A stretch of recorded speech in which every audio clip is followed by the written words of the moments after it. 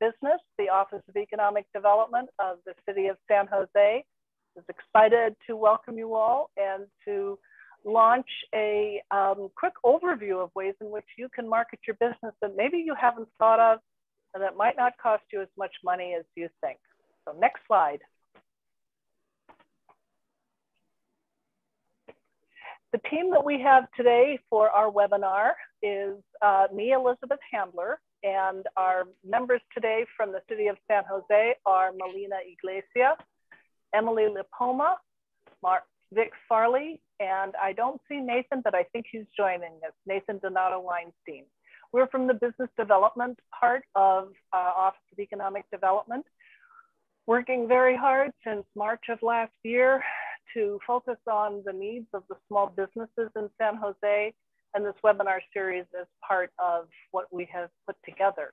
Um, our special guest today to talk about marketing is David Ocampo, who is the principal and creative director of Milagro Marketing, uh, one of the preeminent multicultural communications uh, firms in California. And his, his expertise covers pretty much every aspect of um, positive communications, including advertising campaigns, um, public relations, website development, design, uh, you name it, you'll find it. I'm going to put the uh, website in the chat so you can visit his site and see the cool work that he's done.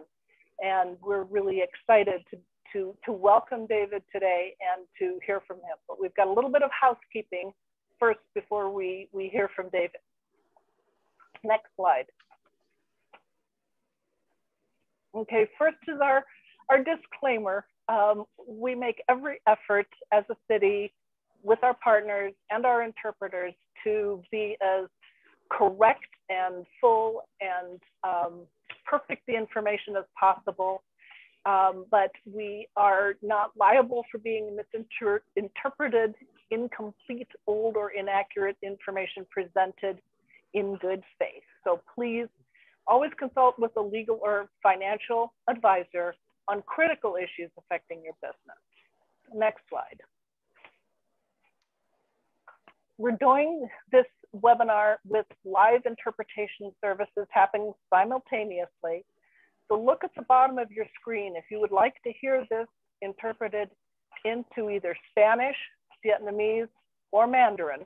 Look for the globe sign, a little round globe with crisscrosses on it on the bottom right hand of your screen and um, check on that and then choose the language that you would like to hear the session in. We're recording this session and the all, all different language versions will be posted to the YouTube channel of our website. So if you miss something and you wanna go back, you can always access that. Next. If you have questions as we go along, put it in the Q&A section down at the bottom of the screen, you'll see Q&A. There's also a chat option, which you could also put questions in if you like, but we're also gonna be sharing information in the chat. For instance, I'll put the Milagro Marketing um, email, uh, website address there. So you'll see website addresses and other things that might be helpful to you in the chat as we go along. We're gonna do an, a survey after the webinar and we'll email that to you. Um, and you should keep your eye out for our next webinar, which is on Thursday, August 18th. And Vic will be leading us in a discussion of updates on state funding opportunities, more opportunities for finding funds from the state to help your business. Next slide. All right, so we're really excited to um, have you here and I'm gonna turn it over to David. All right, thank you. Can everybody uh, hear me? Yes. Awesome, great. Um, had actually wanted to ask everyone here that's here, if you don't mind in the Q&A, could you let me know what kind of businesses you run? Uh, just the general category. I want to make sure that what we're doing here is, uh, you know, right on target. That would definitely help me. I'm hoping to see some of those quickly. Great. Um, but let's get let's get rolling. So my name is David Ocampo. Uh, it's a pleasure to be here to talk a little bit, one about my business, which is always fun for me. I can always talk about my business for days. Two about the industry of advertising, what we do as advertising agencies. Um, you know, you always hear the terms marketing and communications. Um, now, most recently, you're going to hear content creators, which tends to be another kind of term that's loosely used. They all really honestly kind of go up towards advertising because marketing is the data, marketing is the information that's collected, but somebody has to interpret it and somebody has to then make sense of it and then uh, have that what's called an aha moment and develop this amazing creative that has to go out um, to uh, the public. Um, and so I'm seeing performing arts, dance studio, uh, remodeling as a few, um, trying to see, once I'm in slide, it's hard to see the rest. Um, Elizabeth, can you see the others? Because I can't seem to scroll on the rest. There's only ones I can get to right now. Your microphone's off, I think. Home-based travel. And that's the one that's been put in for now. It's home-based travel okay. business. Okay, that's what I'm missing. Okay, cool. Um, and so one of the things that I wanted to do today um, is to actually you know, because I could talk about all the elements of advertising with you guys, and it's going to seem uh, like a lot. Um, uh, but I kind of want to leave you guys with something that maybe you can use, uh, and that was uh, how to put together an advertising budget. Um, and that's kind of one of the things that's going to be primary in, in the deck that I'm presenting to you guys today. So back to me. My name is David Ocampo. Um, I'm originally from uh, Salinas, California, uh, born and raised there. Um, I am the principal and creative director of Milagro Marketing, um, which I started over 20 some odd years ago. Um, I put the link there, um, but I know that Elizabeth and them will put it also in the chat, the www.milagromarketing.com, where you can see some of the work that we do. Um, we are an advertising agency uh, that's been in San Jose for quite a while. Um, I'm also a professor at San Jose State and I teach uh, intro to advertising and I teach a copywriting class.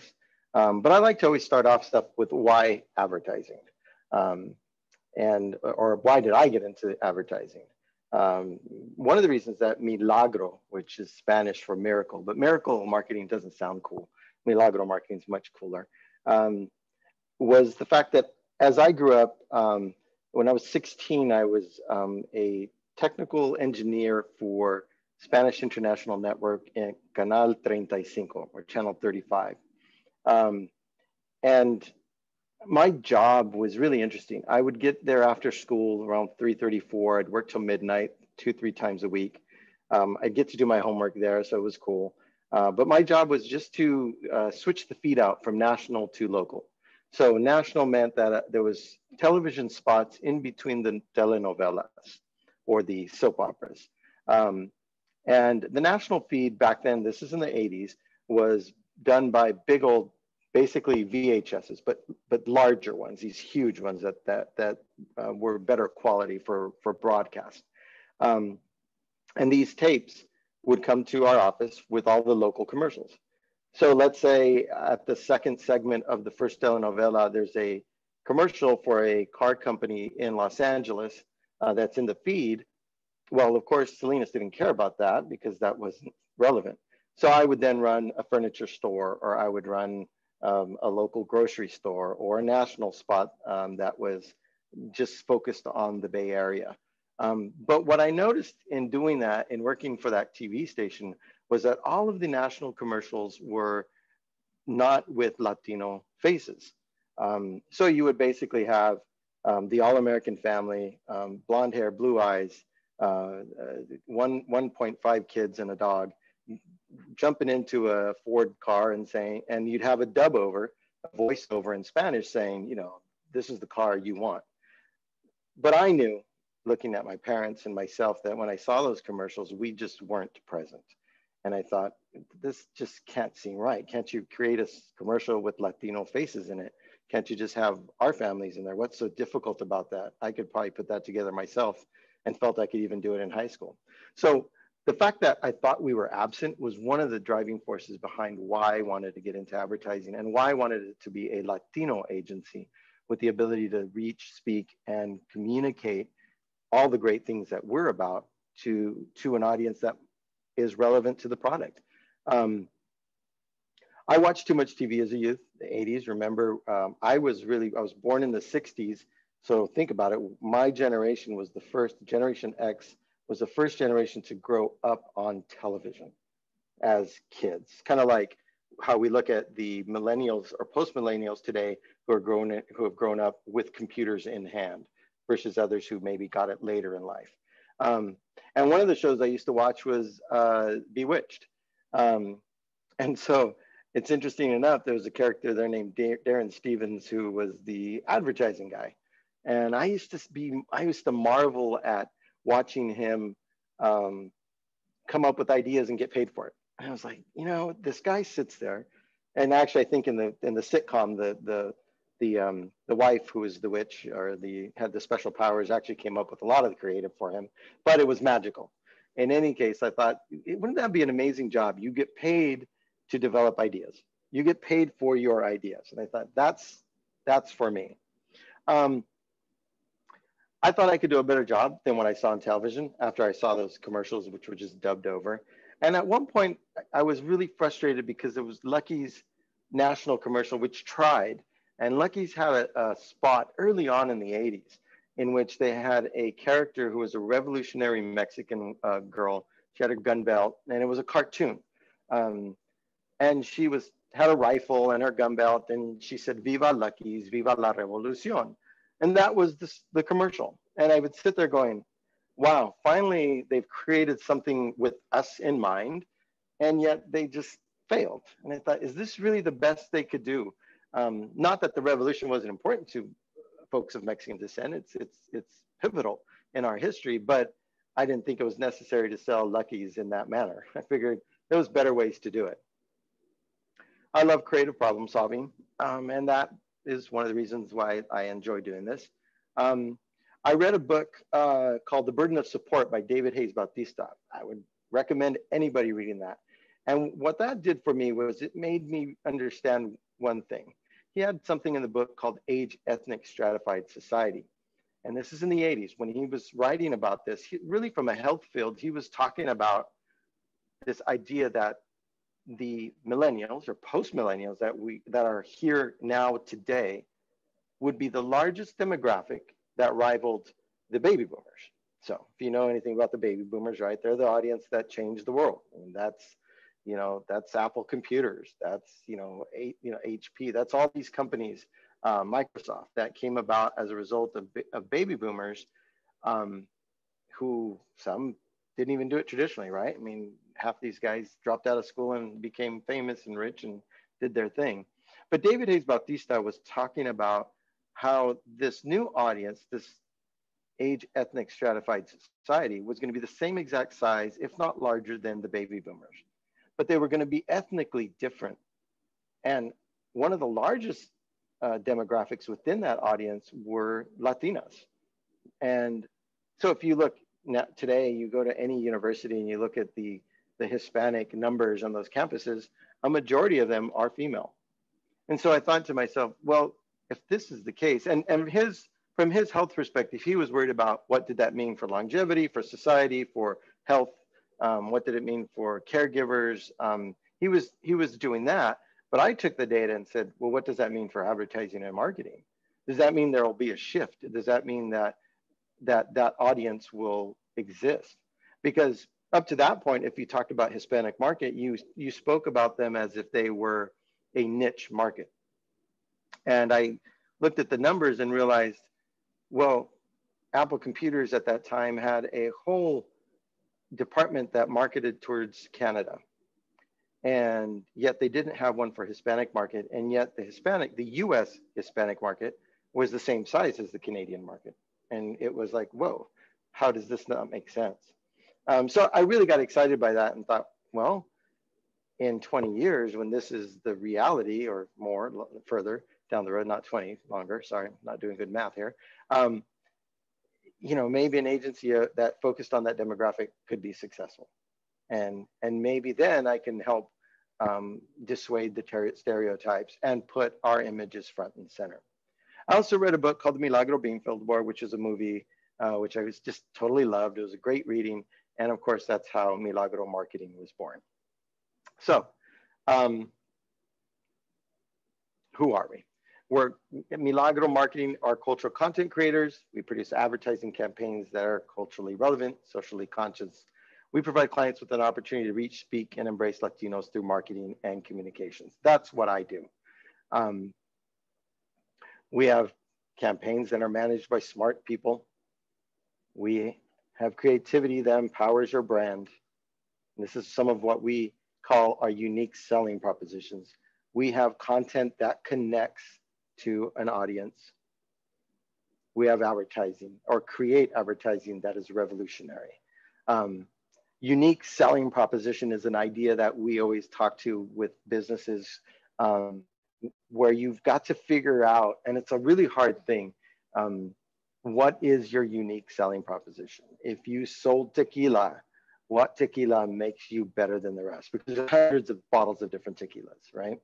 Um, but what makes yours unique? And that's not an easy thing to discover um, because you may look at your business and say, well, I, I, I have a hair salon. What makes me unique? Um, one of my clients Chacho's Mexican restaurant in downtown San Jose, which is actually no longer there because they burned down. But they did a, reopen one in Morgan Hill. Um, you know, he, he's Mexican food, right? I mean, what's unique about that? You know, um, well, in his particular case, he took on this very artistic vibe. He was one of the first people to um, use pink as his as his brand element, um, and he uh, basically single-handedly created the micheladas, um, the um, the mangoladas. Um, and it wasn't that they didn't exist, but that he's the one to build. The, he he made this little hook hooked on the side of the bottle so that you could do those little those little tiny ones, the ones you get in the airplanes, right? When you want to drink because you're stressed, right? And you kind of hung on the side and it just dripped out into this big old goblet, right? Um, and that little invention, um, he single-handedly um, spurred a whole industry because those small bottles weren't necessarily a, a major moving product for the liquor industry. But then because of that, and if you go to many restaurants now, they all do that, and they have that little hook that it sits in. Um, in some of the brands sell more of those little tiny bottles than they actually do real, real of the, the large size bottles as a result of that. Um, y con el nopal en la frente is, is a term, my family's from Zacatecas, Mexico. And, and Zacatecas, if you know that state, is very well known for its nopales or its cactuses, right? Uh, that's why those little cactus graphics in, in the background. And the term y con el nopal en la frente is intentional because it's a term used in my family and anyone I know who wants to express the idea that hey, you know what? Um, you really can't hide from your cultural background. And why would you want to? It's right there uh, with the cactus on the front, which they really mean the nose kind of area. That it's right there. You can't um, hide from it. And why would you want to? So I use it as kind of one of my last tags in my um, in, in who I am as as a, an agency.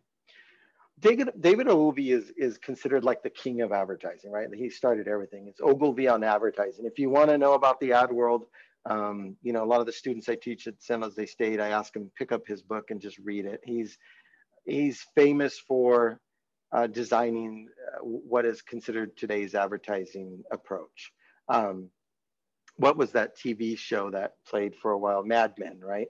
he, the Mad Men, the, the main character of Mad Men was supposedly designed after him. But one of his quotes that I really like is, you can't bore people into buying your product. You can only interest them in buying it. Um, and that's true. You, you, you have to interest them into what you're offering. Because if you don't, you know, uh, there's a hundred beauty salons down the street. There's a hundred, hundreds of nail services down the street, right? Um, and if, if you don't have something really unique to offer, um, I have the opportunity to go wherever I want, right? I can I can get my haircut anywhere. Um, but there's certain things that might bring a customer back. So let me get into the goal of advertising. First of all, what is the goal of advertising? um, anybody have in the uh, in your uh, in your area there if you want to type in if anybody wants to chime in because it's a it's an open-ended question to you guys. What is the goal of advertising? Anybody want to give a shot at it? I guess not huh? Okay well we'll start. First thing you want to do in advertising you need to create an awareness. I need to know that your product exists because if i don't know it exists how am i going to even go to your service or to whatever you're selling me right? If I don't know that um, your salon is there, um, then I, am not even a, a, possibility for you. I'm not even an option, right? I'm not even a potential customer. Um, second step in advertising, of the goal of advertising, you want to try the product or service. So one of the perfect examples of this is is Costco, right? You walk into Costco, and they've got those folks handing you little snippets of food, right? And they say you want to try it, and you know, I'm like everyone else. Yeah, if it's interest looks interesting to me, I'll try it. So they've accomplished two things. One, I'm looking at the brand, and of course, they're taught to teach you, hey, this um, cheese is uh, Havarti cheese, or this is whatever cheese. Um, uh, honestly, they got me once because I tried a brand of tamales at Costco that I actually kind of liked. Um, and I was surprised because Costco and tamales don't make sense to me. But um, I bought some and um, I liked the brand. I tried the product. Well, I, once I've tried the product, then the next step in the advertising process is purchasing the product. Um, so you go from the awareness step to trying the product to the purchase of the product or service. Uh, and that's huge. Um, but you can't stop there, right? Because if I purchase it once and walk away, you, can't build a business that way. You can't develop a brand that people are loyal to. And that's the next step. You need to create brand loyalty. So I've probably gone back and bought those half dozen tamales maybe a dozen times so far uh, in the last few years, just because um, you know, maybe it was just convenient for me. I was already at Costco. They tasted great. They were they were fine. Um, of course, I don't buy them during Christmas when my family makes their own. I don't need to, but uh, I keep a dozen tamales in the freezer and pull them out whenever I need something in the fridge just to kind of snack on or eat. Um, and so you could say I've become brand loyal. Now that's what is, is taught in advertising. The goal of advertising is to create awareness, try the product, purchase product, be, create brand loyalty. I like to take it one step further and I want, I want my clients to become brand fanatics, right? Because, and you, you want to think in that vein, I, I believe, because I've got for Milagro, I probably have about six folks out there who I know when something comes up and they're in meetings, they're um, talking about, you know, we need to create a brand here. We need some advertising support. I know that they're going to go raise their hand. You know, I know this agency. We need to bring them in. Let's talk to them um, because they're fanatics. They're always going to draw me in. And so I know I can count on six or seven of those folks to bring me um, business all the time. Um, and that's because I've developed a really strong relationship with them. Um, and they believe in the brand that I project um, and as such, um, you know, I get someone out there who can help me create awareness, have folks take a look at my service, bec- you know, uh, purchase this service, um, and become brand loyal and uh, and or brand fanatic. Okay. I was doing can I just jump in a second? I don't think your slides are advancing. Oh, so uh, have we been stuck on the same slide? Yes, Oh, geez. Well, they're advancing on my computer. Is anybody else seeing the slides change? Well, this is not good. Melina? Vic? Okay, no. let me do let me do this. Can no. you see that? Now we're seeing it. Yes. Yay. Okay. You know what? I'll just keep it there and I'm just gonna yeah. I'm gonna start from the beginning and advance them. That's the one about me. Yay. okay, sorry about that yeah, the the traditional way is not working, huh? Um, yep. So we'll just yep. we'll just have so to do it this good. That's fine. why advertising? Yep. Kind of reviewed that, right? Good. Uh, you know, we're cultural content creators. I'm sorry, guys, you missed out on some really cool stuff. I know we did. Uh, I just had to go back and look at your presentation and say, oh my God, we're yeah, missing all this stuff. Yeah, I'm seeing it on my screen. Okay, so. Okay. Uh, um, you know, again, we, we, this is who Milagro is. Yeah. Um, and so for some of you, you might recognize some of the characters I used down there, Frida Kahlo, um, you know, uh, Pancho Villa, um, uh, and that little character is actually, yeah, yeah. Well, this guy is actually our, one of our icons uh, when I was talking about con el nopal en la frente or the cactus at the front of your head. Uh, back to what I mentioned about David Ogilvy. Can't bore people into buying your product. You can only interest them. Mm. And then as I was talking about the goal of yeah. advertising, the, you know, these all looked really cool because they were all popping up one by one. Now, now I can only go through the slides, but that's okay. Um, Good. Uh, and then I was here, uh, uh, which uh, I did a little bit of research, the, and there was a Fed study that just came out that was talking about in this pandemic, barbershops, nail salons, and other providers of personal services seem to be the hardest hit. Um, they account for over 100,000 businesses that have closed between March of 2020 and 2021. Um, and I've had three of my clients close because they just got hit just way too hard. Um, and so the pandemic is is such a unique animal. I mean, even the best advertising, I don't know if it's gonna, you know, uh, change it. Um, but you you have to just shift your idea, and you can't lose focus on those elements back here that I talked about is continually creating awareness, getting people to try your product or service, having them get involved with the service and creating brand loyalty. Um, in, my, in the class I teach, I like to talk to the students about Disneyland. And there's, uh, and geez, I didn't write the name of the author, but um, there's a book um, that speaks to um, Disney's approach to brand loyalty, right? Um, and th the whole idea of this literature was that, or this writing was that, look, um, places like Disney know what they're doing um, because your experience is always the same because they're cast members. Remember, they're not employees and they're not whatever else. They are called cast members. They're responsible for the brand. So when you walk into Disney, think about it.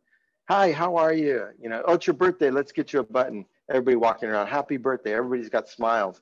You very seldom run into people who are going to give you a hard time, right? You're, it's, it's a wonderful place. And they want to keep it that way.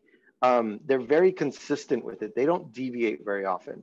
Um, and, the, and the whole point of that is that they're creating brand loyalty. This is why we're willing to spend a thousand bucks per family or more, I think nowadays, right? Uh, to go into that park and we've been there before. We've been there multiple times. Yet we'll take the kids and our kids will take their kids. And they've kind of keyed in on some amazing brand loyalty um, uh, efforts. It's it's called the experience economy. I remember that was the title of the book. I just can't remember the author at the moment. But the experience economy speaks to the idea that your experience is huge I mean, we've all been to the retail stores. We've all been to Macy's or Nordstrom's or uh, or wherever. Uh, we've all been to the grocery stores, Cardenas or or whatever store you might be going to, Safeway, and you've all been treated badly at some point in time. and when that happens, we don't want anything to do with that store anymore. It's like you know, you know, and I've had those. You know, I just got back from Safeway. Telling my wife one time, and I'm never going back to that store. That teller was just rude and I wasn't even trying to be rude back. I was just asking a question. Um, people have bad days. That happens. But when you run a business and a small business, it can't happen. You have to. You definitely have to think about the experience that that consumer's having, um, meaning smiles on your faces. Um, Macy's is one of the stores that for many years was doing it right because they took the attitude that the customer is always right and as such, you could have brought back anything. You know, I remember bringing back a sweatshirt that wasn't the buttons were falling off and it was old. It was, you know, wasn't I had didn't have it for a week. I probably had it for two, three months, and they exchanged it, no questions asked. Uh, they didn't look at me like some stores would have and say, "Well, you kind of wore this, and you know what? It's uh, it's your wear and tear. Sorry, can't help you." No, they they're like, we'll take it back. So if there's any other reading you might want to do, uh, the book is called The Experience Economy. Um, it does focus most of the book on how Disney has successfully um, made us all, or made many of us, brand loyal. Okay. Uh, so back to um, these closures. This is a tough time for sure. But what I wanted to get into um, was a little bit about budgets because most of us small businesses don't, and even I'm guilty of this too. I don't always do this, and I should do more of it. Um, but if you're struggling with advertising, you know, a lot of the small businesses that I run into, you know, they say, yeah, we, we, um, uh, the television woman came in and she said I can get some really good prices, so I spent it and nothing happened. Or you know, uh, the the newspaper guy came in and sold me two ads and nothing happened. Nobody came in the door. Possibly yes, possibly no, um, because you're looking at a, a, you know we all want a, an, an immediate ROI. We all want a return on investment. I spent a thousand bucks. I better make three thousand. Advertising and marketing just does not work that way. Um, it is more of a long-term commitment. Um, it is constantly looking at it, looking back at it. It does take some time. That's why ad agencies exist with the with some of these bigger corporations because they don't have time to deal with it, but they don't want to be, spend their money and not get the best return on the product or service that they offer. So this particular slide shows you uh, average marketing budgets by industry. And this was a 2020 report um, and for many of you would probably fall under the retail business. The average percentage of revenue that is spent on advertising right now is 6.93%. And that's 6.93% of your gross income. So if you made a million one hundred thousand dollars for the year, if you made five hundred thousand dollars for the year, if you made three hundred thousand dollars for the year, um, you know you can look at it and say, well, if I can spend about 7% of that on, on advertising, uh, you have somewhere to start. Most of us don't think like that. Most of us just spend and don't get a return and then get frustrated and then don't want to spend anymore. And then the next time you are spending, you're spending on the fire sale. Oh, we're going out of business. And then you hire me and I go make signs and tell everybody you're going out of business and you sell all your furniture that you have left and you close up that's not when you want to spend your ad budget. You want to spend it before any of that even occurs. Okay. So if you happen to be in any of these other um, industry segments, I just kind of picked on retail. Uh, but that's kind of the national average right now, about 7%. Now, you're going to know your own business better and know where and when to spend.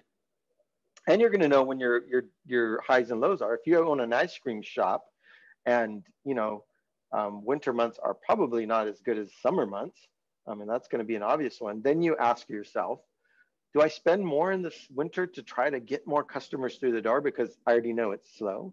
Or do I try to increase my customer base in the summer and spend more right before summer and don't even spend during the summer, during the winter months? Um, but there's no um, there's no secret uh, or magical wand on this stuff. That's the interesting part of this. There's only trying to put things together logically so that you can get the best return. And that's where ROI, when I talk to clients, I never can promise return on investment, just not realistic. Um, but what I do promise my clients is a campaign that's going to be relevant, original, and innovative. And my argument with that is if I do that, I have a good shot at helping you, right? Because I'm thinking about your brand and I'm trying to help you get to where you have increased sales. And that's ultimately the goal. And if you have increased sales, you have a stronger brand. Because really, that's truly why people think brands are great because they're huge corporations. Apple Computers is in, always in the top five largest well known brands in the world because they sell millions and billions of dollars of product. And they've actually are a good uh, case to look at too with this experience economy. You know, why do people stand outside in lines when the new product's coming in? You know, why do everybody want the latest iPhone? Why are people willing to spend a thousand bucks on a phone now? I mean, that's ridiculous. We used to spend 150 bucks on a phone, maybe $50 on those old flip phones, right? Um, but now it's up to a thousand for this phone that does a lot of cool stuff. Um, so Apple is, is a great case study to, to search about how to develop a brand, okay? Um, but the budgeting process um, is interesting. Um, and here's the bullets that go along with it. Here's, here's kind of, I was hoping that maybe it's something you can use so that it's not just me ranting and raving about how to, you know, manage a brand and have a great brand and all that. Um, but just some simple tools that might be of benefit to you guys. Uh, and really what you got to think about is you need to set a sales goal for the coming year. You want to decide how much to advertise. You want to allocate budget for a time period. You want to evaluate the results and you want to do it again and, and you want to have fun with it. If you see it as a chore, it's going to be tough. Uh, but if you see it as kind of a, a, part, an integral part of your business that you need to put some time into, um, you can have some level of success with it. Okay. Um, and the only way to really set a sales goal for the next year is to review your sales and advertising for the past year or past years. But even if we just took a past year, I'm going to, in, in this particular scenario that I want to show you, I've come up with a company called Tortas y Más Tortas. It's a company I always wanted to open never will. I always just thought it was a cool title. Um, if you don't know what a torta is, a torta is a Mexican sandwich. I mean, I don't know how else to explain it. Um, but uh, I just always thought that that would be really cool if it was, you know, I've never seen, well, I have, but I haven't seen anything in the Bay Area that was just strictly tortas. Because um, you always go into taquerias, right? And we buy tacos, but um, I figured tortas y más tortas would be super cool. But let's say, let's assume I took a look at how we did last year with Tortas y Más Tortas. Um, and let's say if you look at um, the left column, Jan I've got January through December, and I just broke down what my gross sales were every month. January I did 150,000. That's probably a lot for a torta place, but whatever. Um, these are all just made up numbers. Uh, February was 60, March was 85, April was 65, May was 95, June was 45, which is kind of low with compared to these other numbers, right? Um, July was 170. That was a good month. Um, and I and I just did the simple calculation of what percentage of the total it was, right? So 150,000 of 1,140, which was the full amount of gross sales, okay? Uh, not my net, but the gross.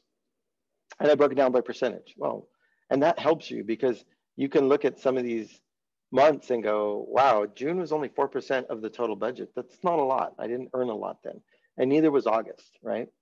Um, but then if you look to the right and you also calculate what you've spent on advertising for, for those months, you'll see a correlation, right? In January, I spent $3,600 and down the road, right? Uh, spent 36K for the year. A lot of us don't calculate that. A lot of us don't even think about it. We just spend it, right? We say, okay, yeah, I'll take that uh, print because uh, La Oferta came in and said, uh, you know, it'd be good. The Metro came in and said this would be um, the the um, we're doing a special on such and such, and so it's a great time for you to advertise. And of course, then you bought an ad that cost you fourteen hundred bucks, and then the radio station came by and said, hey, be great if you did radio, or you just did some flyers, or you spent some time on your Facebook site, your social media, or you paid Yelp to help you or you, um, uh, you know, any number of things that you could have done to just get the word out, right? Um, you bought business cards, you put a sign up front, you changed the sign up front, you put your uh, business name on the front of your door, you did some posters. Um, anything and everything that you did is advertising, anything you're doing to get the word out. Um, and therefore, if you bring it down, you can see the 100% of your ad budget was 36,000, okay? Um, so why does this really matter? Well, you want to, let me see, why am I not moving here? Okay, oh, there we go. Um, you wanna set a sales goal, okay? The first part was this, which you just wanna kind of lay it out so that you get an idea that makes you understand and look at things logically and say, well, wow, June and August weren't good. And you know your business is better than I would or anybody else would. And you can say, well, th those are always bad months. But why are they bad months? If you're selling ice cream, like we said, well, November, December, January, just we just don't sell because it's cold and nobody wants to go out for an ice cream cone. Um, and you may have low sales and you may not spend those months. That's okay. Um, but if you spread it out, at least you get an idea of where your money's going, and then you can make better decisions the following year. Okay. So once you have last year's sales total, which we had million one hundred and forty, um, then you got to look at a few things, few factors. This is what I do with small retails or retail businesses. Um, I'll look at the, a demographic change. Now, you're either going to add or subtract, and this is really from your experience and knowledge of your company. Um, you could do some homework. You could get online and, and look at what, um, for example, if you're downtown San Jose and there's two new skyscrapers going up and there's going to be an influx of about 10,000 new folks living there. Well, you can possibly call that a demographic change, right?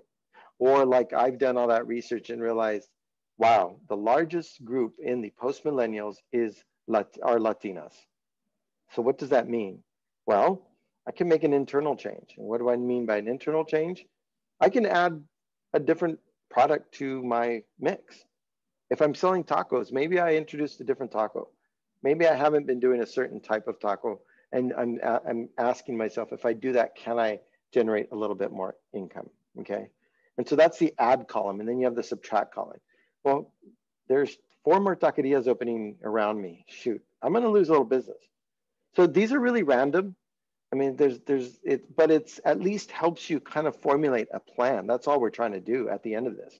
And so let's say I say, okay, 15,000, I'm gonna probably lose potentially in competition, but I can make some up in internal changes and demographic changes, okay? External factors are just stuff you don't control. So I always just put like 10,000. So I'll add 30,000, but I'm gonna subtract 20, uh, 25,000. So the difference would be 1 million, um, so I have 1,170,000. I'm back to 1,140,000. I think that think that math is wrong. Uh, but uh, I'm also going to add inflation. Uh, last year's inflation was 1.25. And this is something small businesses don't do. We don't calculate inflation. Well, inflation is happening with or without you. So if that taco is $3.75, I might want to increase it by 1.25 every year because I've got to account for that. And that can be a positive accounting, actually, if you think about it, not a negative accounting. But if you don't, then we're going to be in the subtract column. In this case, I'm going to I'm going to account for it. Therefore, I can actually say at 1.25 of the million 140, 14,250 potential income coming in for the following year. Um, brings me to 1,154. And then I'm going to hustle a little more. This is what I call business ad sales budget as a percentage of line one. Uh, 3% increase just because I can go out there and get that business. You've always got to think about that.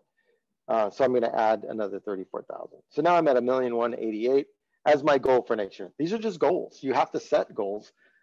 They may be totally wrong. They may be off, but as you do more of this, you get better at it. And again, I'm throwing numbers out there just because I don't know what business we're really talking about, except for this made up one called Tortas y Más Tortas. But you can plug in numbers that might be a little more realistic to you. Um, but always consider the, the inflation as a reality because it will chop and take away from your bottom line. And if you're not making it up, then you're going to be in that negative column all the time. And it will just keep going. 1.25 inflation was actually low because of the pandemic. We're usually around 2 3%, something like that, um, up to 4% inflation. Um, and there are certain things that are going up. I mean, have you gone to uh, Chavez Market lately bought carne asada? I mean, it went up to $16 a pound, I think, at one point. I mean, I remember paying 3.95 a pound less than four years ago or five years ago. Um, I think it came down to 11 or 10 $10 a pound. Um, but once you've got those in place, you want to decide how much to advertise. And, you know, I'm going to go with uh, adding 3%. Um, you saw that that number I, I, had up there for certain industries was the average is about 7%, right? Um, I'm don't have that much money to spend, so I'm going to start a little lower. I'm not going to start at 7% of my gross budget to spend on advertising. You're deciding how much to spend on advertising. The average is between 1 and 15%. You're going to know what works for you. You're going to know what doesn't work for you. And you're going to test and you're going to play with it. You may spend 15% of your budget and realize, I'm really not making more. I'm staying about the same. Um, or I've made so much, but I'm not going beyond that. And the next year, I, I did increase my sales and I met that sales budget that I had. And maybe I shouldn't spend 15% because I'm actually kind of wasting money. I maybe want to drop back down to seven or eight. It's something that you'll kind of always will move up and down depending on how things are going with your gross sales. Okay. Again, we want to add certain things and take things into, uh, into consideration. Um, I'm subtracting 1% because of competition, but I know that I'm going to hustle a little bit. So I'm going to add 2%. Demographic shifts are happening. Um, more people moving downtown maybe is a, a, a logical reason for my 2%. Um, ultimately, I'm thinking that I'm going to spend 5% of my gross on the budget. Now, look, I'm trying to give you some worksheets that maybe you can work with. Um, but ultimately, you know, you can just sit down and say, I'm going to spend 6% of my budget. I'm going to do the national average and go with seven and see what, what happens, right? Um, but you have to, all this really is doing for you is giving you some worksheets to think about so that you spend logically. Because if not, you're just going to spend as people come at you, or you're not going to spend it all and you're going to ask yourself, why isn't my business growing? You know, um, there's very few businesses that can stop spending on advertising. One of the, my favorites is uh, I ask my students in my classes, so do you think McDonald's needs to advertise? And what do you think the answer always is? Well, it's no, they're huge. Everybody knows who they are. So then I bring up the reality. Well, okay, so let's give this some thought. Who's their competitors? It's anybody that sells fast food. I mean, not just burgers. I mean, yeah, you'll start with Wendy's and Burger King and the, those and Jack in the Box. They're definitely competitors. Uh, but so is Taco Bell. So is every taqueria down the street. Anybody that can get you food quickly, fast, and in that price point is your competitor. So the minute I stop advertising is the minute that each one of those other businesses who are continuing to advertise are going to take a little bit from my from what I annually earn, even if it's a small percentage. And I know this because one of our clients was uh, early on when I first opened, one of our clients was um, Tecate beer. And um, Corona was the big dog in the market. They were killing it. They were crushing it in the import category of beer. Now, my agency was hired to promote Tecate um, in a regional sense. We didn't have the national account, but we didn't need that. We did have the regional account, which was basically all of Northern California. And the goal was to take market share from Corona because they were the big dogs. And Corona wasn't spending in this market. They sat back and said, We're good. Everybody knows who we are. And we sell like crazy. Well, after we were done with them, we took 2% market share away from them. Now, 2% may seem like a small percentage, but the numbers they're playing with in this market were in the millions of dollars. So we took 2% of their million of dollars away from them and went to Tecate beer. Um, so advertising is, is key and it'll always be key in competition, in whole, or just holding on um, to your market. But it's not everything, right? Because as I mentioned before, like the experience economy, you've really got to provide and look at marketing and advertising, not just from buying ads, but how your internal staff is trained, how they respond, right? Um, you know, when people come to my office and work, interns or anything, I have a certain system that I make them do they when they answer the phone in my office, they must say, "This um, this is David Ocampo. Um, how may I help you?" Uh, or sorry, hi, you've reached Milagro Marketing. This is David Ocampo. How may I help you? And there's three things that are important there. One, they've reached the right place, right? Two, they know exactly who they're talking to. And three, I've immediately told them, I'm here to help um, that's huge in just getting people to that brand loyalty. Because how many times have you called the store and it's like, yo, what's up? right? And people, I mean, I get that and I'm like, what am I calling to? You know, um, I had an intern one time who that was, I, I, don't think I had told him. He sat in the desk and he answered my phone and he said, what up? And I just sat him down after, said, um, this isn't your cell phone. This isn't your apartment.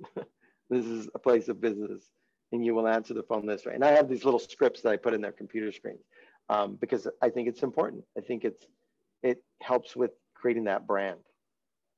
Um, so you can ultimately start with whatever you want, but then you calculate it, right? You compute that budget because you go by the sales goal. If you say, well, last year I did a million one something, but this year my goal is a million one eighty eight, uh, 40,000 increase or something like that, I think is what we're looking at.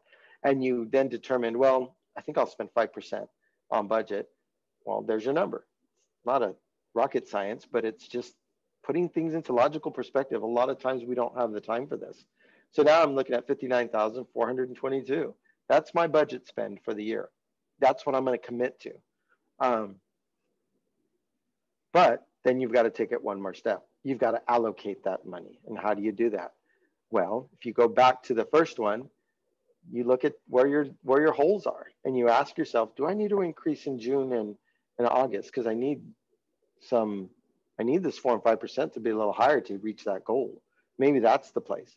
Or, geez, I do great in December. Maybe because your maybe because your product's good for Christmas or the holidays, right? Um, you know, December and January are really good months, right? Um, and so maybe you actually, although you're spending 12 and 13%, maybe you tell yourself, well, I could always spend 15% or 18% during that time and not spend anything in June and August because that'll never change. You know, but that's going to be working with this budget and and just examining it every year to help you get to a point where it's working. But I'm going to tell you this, the reality is it's not going to work day one, you know? Um, but like McDonald's, would you rather be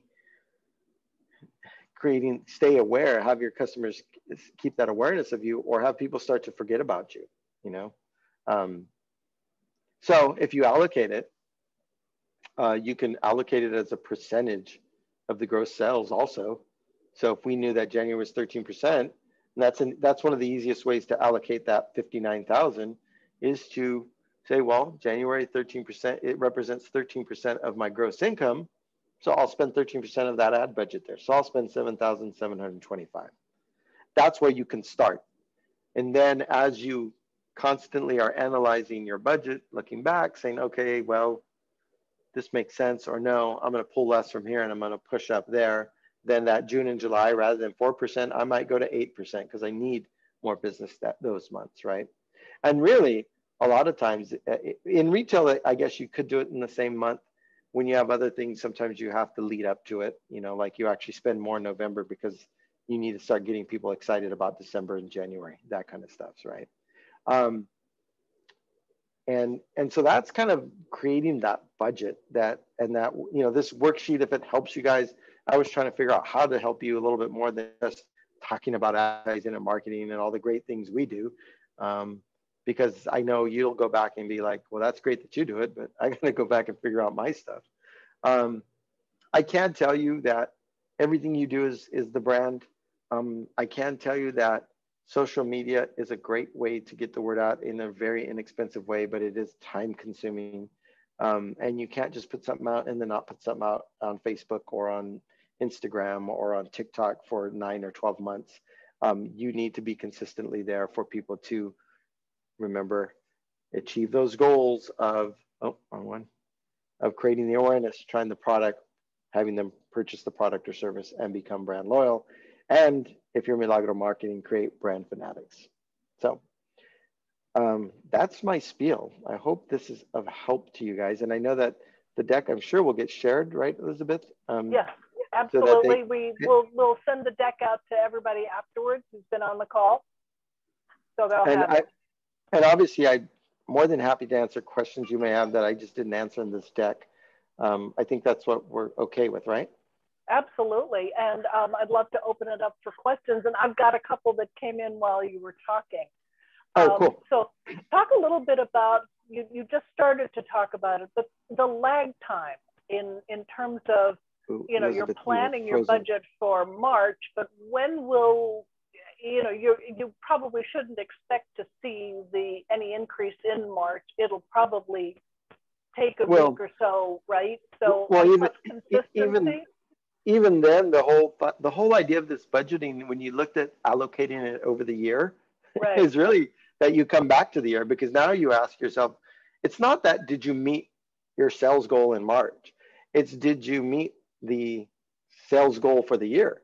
Did right. you increase from that one million forty thousand, one hundred forty thousand to one million and eighty thousand, right? And and this one's probably the numbers are probably aren't so great because I'm saying we'll spend fifty thousand to make forty, right?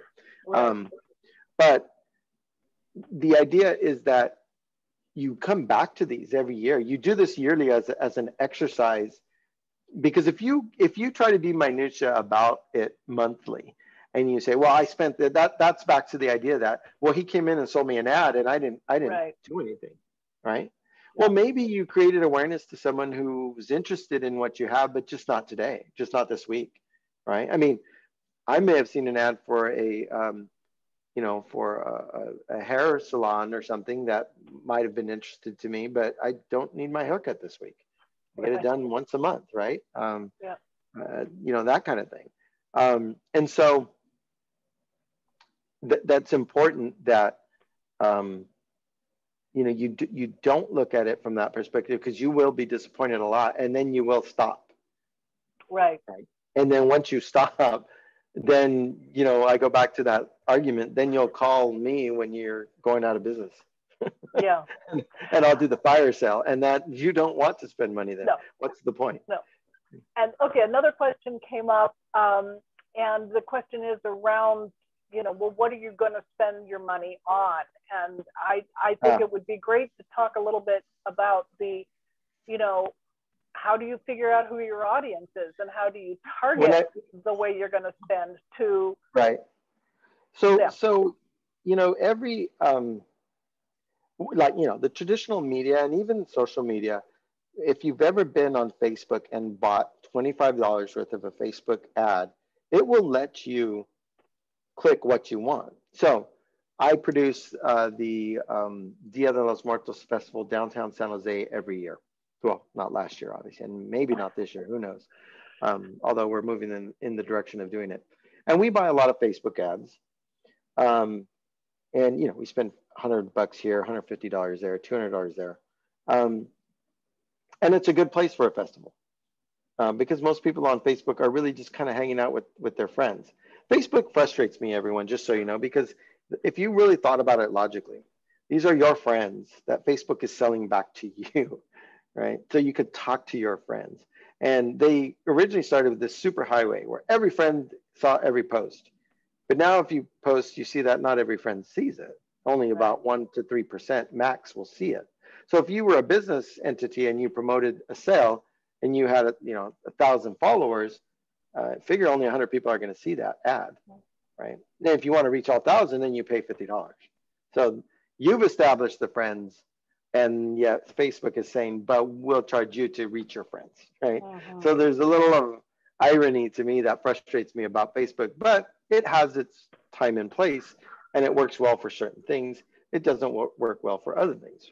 Big corporations like Clorox have said, you know what, we're not even dealing with Facebook because it doesn't work for us. Right? Festivals like me, we love Facebook because we know and we can gauge an audience. We could say, what festivals coming in? Are you thinking about coming? And you get all, you know, all of a sudden everybody's clicking in saying yes. And where I was getting to earlier is that I can go in and say, okay, I want people in San Jose. I want uh, females, Latinas, because I know the demographic's huge and I know they're going to drive things. Uh, I want people interested in Latino music. I want people interested in this. And then they, Facebook will go through its algorithms and they'll feed it to all of those people, right? And I can see my numbers jump up. And the beautiful part some, of it is you only have to pay for the ones that actually click on it, right? If that's right. how you're, if, you, yeah. if that's how you're setting up your account. So right. you can so get when, quite a bang for not too much of a buck. Right. Now, a lot of it is trial and error. So you know, um, you know, there's certain radio stations I would use that wouldn't really draw in anything. Um, there is Telemundo that I use. There's a billboard, digital billboard I use on 101 that gets a lot of exposure. And so my budget for the festival is maybe $20,000 to promote. And leading up to an event like that, you know, we don't really advertise till three months out. And then we slowly go uh, and we go from there. So for your businesses, where do I advertise? Well, one, you need to look at where your budget is. Your budget may allow you enough to buy some radio or TV, right? It may allow you to buy newspaper. It may allow you to only kind of dabble with um, Facebook and try to build things organically, which takes more time. And what I mean by organically is that, you know, just your friends and everybody helping you and sharing and clicking and, you know, constantly being present there so that people know what you have. Uh, but you can build a good audience that way. Chachos, a large part of what we do for them is content creation for their Facebook site. And I think they have over 20,000 uh, followers. Um, and it's not so much that I feed the info to them, it's that they share it. Because remember, I feed it, I'm not feeding it to 20,000 people, I'm feeding, it to 200 people, right? But those 200 people will say, hey, what do you think? What do you think? Let's go to Chacho's Friday. They have a new drink, they have this new on their menu. I was just there. Next thing you know, that 200 people is really 150,000 people, right? Um, so it is, you know, where do you buy? You have an idea. How do you figure out the demographics? The cool thing with a lot of these radio TV stations is that you can ask them, well, I, you know, this is who I want to reach. I want to reach 18 to 54 year olds, and you can break it down any way you want. I want women, I want Latinos, I want Vietnamese. There's nothing wrong with that. That's who your audience is, right? So you, you one thing you can do to help you um, is talk to your customers. You know, what we call intercepts. Um, I'll give you an example. Uh, I was, uh, one of my first accounts was the Mushroom Council of America. And the Mushroom Council of America was wondering why, when they sell mushrooms in Mexican supermarkets, they weren't selling. And they were asking the question, why do not Mexicans and or Latinos not buy mushrooms? Do they just not grow up with them? Do they not like them? And I introspectively, after having this conversation with them, was like, well, we always had mushrooms in our house as part of certain dishes. Um, so we did a focus group. It was one of the first, well, actually, we did two things. The ad campaign that we were going to roll out was based off this term hongos. Now, if you're a Spanish speaker, you know that hongos truly translated is foot fungus. It's not even mushrooms. The, the correct term for mushrooms is um, uh, champiñones, which is kind of which is kind of like the French term too, but but uh, much of Latin America, specifically Mexican. I always talk about Mexico because you know 60 some odd percent of the Latino market in the U.S. is of Mexican descent. Okay, um, so they are are um, you know I, I'm I'm I'm considering this campaign with a creative that that says that uses the term hongos. Telemundo and Univision looked at me like I was crazy you can't do that. You're going to be selling foot fungus. And that's what the audience is going to hear. Um, and I was like, well, let me see if that's true. Fine. I did intercepts in front of Mi Pueblo at the time Mi Pueblo was around. We asked 300 people, and it was the simplest survey ever. We had the product there, the mushroom. And they walked in, and we said, What do you call this? And 99.9% of the people said, We call them hongos. So when my mom or my abuela or any of them tells me, go to the store and pick up stuff, they're telling me, ve al mercado y tráeme hongos. Go to the market and bring me hongos, not champiñones. I think only one person said champiñones, which is the correct term. Don't get me wrong. But I wanted to culturally connect to this audience. Um, we then continued with a quick focus group uh, where we brought in eight or 10 people. We, we talked about mushrooms and their consumption. And two things that came out of the focus group were two things. I don't like buying them packaged. I, you know, and, and so remember the, the US market, we moved mushrooms into the pre-packaged because they're grown in, they're a fungus. They're not even a vegetable. They are considered a fungus, truly. Um, and they are grown in uh, these temperature controlled rooms. I mean, it's a real big science, but yes, they do use, and you know, some of the um, uh, the manures that are used in there to grow it, but they're clean. They're the cleanest product you can ever have once it comes out. But we believe that they're dirty, right, in America, and so. You know, Safeways and all them said we're not selling mushrooms, so they put packaged them. They cleaned them, packaged them, put plastic over them, and they were selling them that way. And those sell more than surtir, which is the Spanish term for kind of just picking at them, what I want. And so we ran commercials and they were real simple ones. There was a code word at the front of the door at grandma's house and you knocked and I used a bunch of characters that were, you know, I had a mariachi, I had a rock and rollero or kind of a rock and roller. I had a um, uh, kind of a soap opera star type person, and each one knocked at the door, and the door would open, and they would all say "Get hongos" or "What mushrooms," um, in their own style. The mariachi did it, mariachi "Get hongos," you know. Um, the the telenovela girl or the soap opera girl. Uh, I, I, guess back then we can get away with it. Probably not today, but she kind of was more of a sexy vixen that came in and said "Que hongos," you know, kind of very sexual. Um, we had a little kid. We had the rock and roller, like, hey, dude, que hongos, that kind of a thing. And that was it. And then they all sat around grandma's table and she just said, que hongos, verdad. And then we, we followed up with this idea of um, what was your recipe? You know, submit your recipe to us, blah, blah, blah. We'd love to hear about you, that kind of thing, and buy more mushrooms. Um, the Mexican markets were like, wow, we've been selling mushrooms off, off, the, off the table like crazy. And part of it was the research we did by asking these folks about mushrooms was the surtir. And we went back to that. They said, you can't package them. They want to pick the ones and put them in a bag and got, get them. And the Mexican markets weren't doing that anymore. They had moved away to the package stuff because everybody else, Safeway was doing that, right? So they went back to that and then they were flying off the shelves. Um, so I, I mean, I'm going a long way to answer this question. Um, what I'm trying to get at is that ask your current customers. Simple question like, what do you call these? Helped us with what we call in the industry insights. I'm always looking for an insight that gives you that, oh, whoa. The other actually insight that came out of that focus group was this gentleman who talked about in his hometown in Mexico, he they would make portobello sandwiches, tortas, portobello tortas during Cuaresma or during Lent every Friday. Oh. And that was oh. their substitute for meat. So we ran the campaign during Lent to promote mushrooms during that time. And that was part of the whole success. Calling the hongos, getting the validation that that was okay. Running the ad campaign during Lent. And in fact, I remember the, um, it's been many years, but I remember the, the recipes, you know, during Lent, what is your favorite mushroom recipe, right? Um, and the fact that people wanted to sortir or sortir, sorry, um, they wanted to pick their own and moving away from packaging in the Mexican market. Um, all of those were just came from some real basic questions. So I'm not saying some of your business have the capability of running big focus groups, but a focus group is as simple as your customers at the register. Hey, where do you where do you hear about us? Oh, I heard you on the radio. Cool. Well, or what's radio? What what where do you get? What do you watch? And what are the shows you watch? What TV stations? What radio stations do you watch? And if you ask every customer, you'd know where you can increase your, your budget. You can say, oh, everybody's on Telemundo. I think I'll stay there. Or you know what? I'm advertising on Telemundo, but everybody's on Univision. And I didn't want to do Univision because it's more expensive. Telemundo's a little cheaper.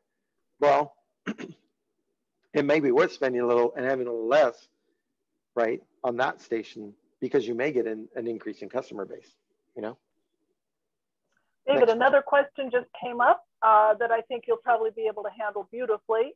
How can a small business identify the right marketing company to work with? Um, well, look at their website like mine, and you ask yourself, is that is the style and what I see on their website look um, relevant to what I do? Do I like their style? You you have to trust this company because the company is going to be playing with fifty thousand dollars or twenty thousand or even ten thousand, you know, or even five thousand dollars. You know, t- to all of us, right? That's hard-earned money, and it's hard to let it go to someone else and to let go of some reins because you're not the expert in the field, right? So on their website, two them and just ask for a a, quick meeting. Um, they're going to ask you a few things. I can tell you this. The larger agencies are going to say stuff like, well, how many salons do you have? And I know some even base them on, well, if, if a business has at least three locations re- in, when it comes to retail, a lot of the agencies will say, okay, they have budget to really do something because they can pull from three. If they have one store, they may be a little more hesitant because they're going to think, well, he's going to be trying to advertise with a really small budget. And and many times it may be that you're better off spending your money yourself and experimenting using this kind of this this um, sheets that I gave you. Um, and to be honest, everything is on the web. I mean, you can pull up how do I create an ad budget? What's how do I spend? You know, you can uh, you can keyword I you know beauty salon best way to advertise to Vietnamese market, right? And you're going to get the answers. And so then you, it's a little bit of research. That's kind of what we do. Um, you know, of course, we do a little more because we're trying to match the demographic to the media, all of that kind of stuff, and then to the budget, and just really trying to see what we can do to help. Um, but you don't, you can't discount things like if you are a neighborhood retail location next door, you can buy some advertisements on Nextdoor. And Nextdoor is huge right now. You know, you can go in there and we've used Nextdoor for a few clients uh, for some political campaigns, and we've had some pretty good results with it. You know, um, but realize who's doing. You know, you you know, I can tell you, Facebook is a is a 35, 40 plus location right now. Okay. Um, the, the younger generations on Instagram, right? The 20, 18, 20 year olds to 35 year olds are on Instagram. That's where or they TikTok. live. well, TikTok's still younger and TikTok's a yeah. little tougher because TikTok really appeals to like a really young audience right now. Yeah. You know, uh, uh, like a preteens, you know, right. eight to 15 year olds, and they're a tough audience to advertise to. Yeah. Um, but yeah, but TikTok is the new thing. What I do suggest you do is you you need to get your the emails of all of your customers and you create an email database and you communicate through newsletters. It may seem archaic, but I can tell you, Facebook will not be here forever. Facebook will be gone in 10 or 15 years. If you don't believe me, do you, do you have a MySpace account? And if you did, can you get it? Does anybody go there? Probably not. Um, Facebook will be MySpace, and it's already people are leaving Facebook in droves. They're getting tired of it. Yeah, many have moved to Instagram. And then the young kids don't want to be where the folks are at. My kids do not want to be on Facebook because they don't want to see my stuff and they don't want me to see their stuff. Um, so you've got to think about your audience, you know, who comes in. If you have a product that is all generations, then use them all. If you know that your audience is older, and those are all simple questions you can ask. Um, you know, uh, you can you can do a, a, giveaway. Could you fill this three questions out? A lot of people don't like to do that, so it almost is putting it on your salespeople or your tellers or whoever you've got to sit there and go, hey, can I ask you three questions? You know, while they're while they're going through the line, um, you got to figure out a way to get their information.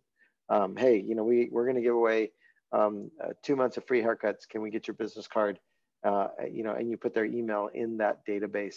Because once Facebook's gone, you've spent all your time building your customer base and they're gone. But if you have an email that's good, that works, you can always email them coupons or you can, you know, uh, BOGOs, you know, uh, buy one, get one free. Or you can always email them that, hey, we're still here. Love to see you. You know, simple as that. Don't be afraid to, to reach out to these people and just say, we're still here. Then You don't always have to have a sale or a product. Just reminding me is enough sometimes. It's like, oh, that's right. I forgot about those guys. You know what? Um, shoot, I'll go there again. And that, you know, just think about how you operate. There's always that one place that you like, but you get so busy with everything else, you forget. They don't advertise. And then the next thing you know, you drive by and you go, oh, you know what? I love that barbecue place. Why don't I go there more often? Should go there next week. Pick something up. Had I received an email saying, hey, we're still here cooking up some great barbecue, I might have gone quicker or sooner. Who knows? Okay, well, how about another one or two questions? And then I think we'll have to let David go and, and, and do some creative advertising. Are there any other questions? Anybody want to put something in the Q&A or the chat or just unmute yourself and, and ask a question?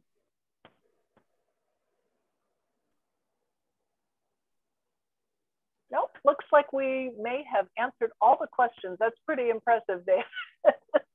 okay, well, I hope there was value in this for all of you. Um, you know, got Thanks to so kind of guinea, I got to guinea pig this a little because I am trying to put together a retail advertising. I told Elizabeth a retail advertising uh, uh, lecture for my students as well. Right.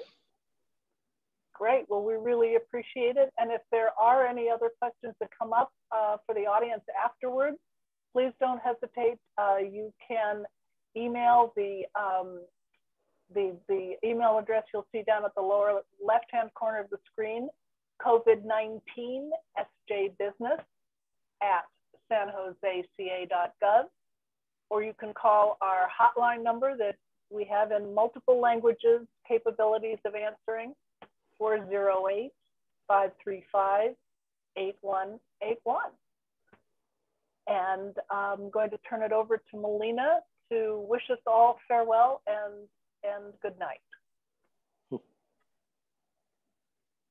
if Melina is still with us, scrambling to get herself unmuted. Yes, thank you, everyone. Uh, thank you, Elizabeth and David. Um, we do invite everyone to uh, tune in to the next webinar on, um, what is that, August uh, 15th, um, August 19th on um, state budget updates. Thank you very much. Have a good night. Thank you, everybody. Bye-bye.